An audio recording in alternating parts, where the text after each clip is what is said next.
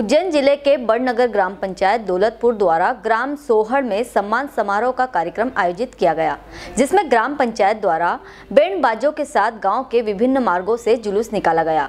इस अवसर पर गाँव में खुशी का माहौल नज़र आ रहा था।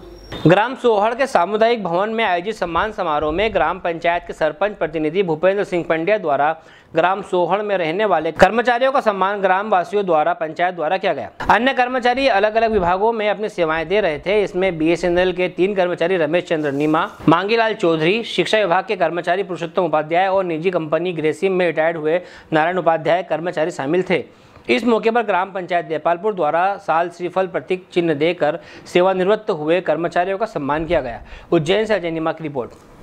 हमारी ग्राम पंचायत द्वारा हमारे आदरणीय सरपंच साहब और हमारे गाँव के मुखिया कैलाश सिंह जी पंड्या, इन सभी और गाँव के महानुभाव जो भी अतिथि हैं हमारे, इन लोगों ने हमारा, जो रिटायरमेंट की इनको खबर लगी, ऐसे ही तुरंत इन्होंने कार्यक्रम रखा पंचायत की ओर से और ग्रामवासियों की ओर से और हमारे गाँव के मुखिया की ओर से।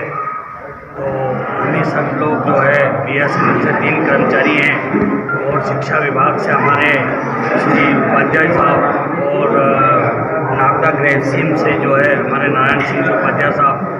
सभी लोगों का हमारा यहाँ पे भव्य स्वागत किया गया है। सरपंच साहब की ओर से और सभी पंचायत वासियों की ओर से।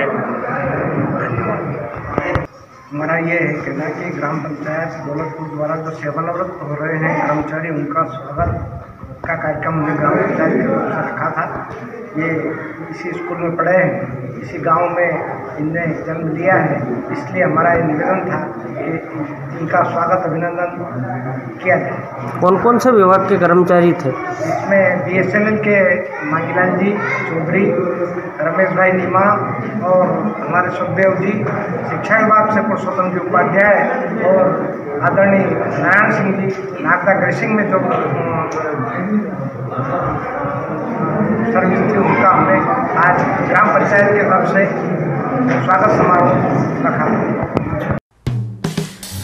फ्रेंड्स आप देख रहे हैं हमारा channel S W twenty four news हमारे सारे वीडियो सबसे पहले देखने के लिए आप हमारे चैनल को सब्सक्राइब करें और पास में लगे बेल आइकोन को दबाना बिल्कुल भी ना भूलें।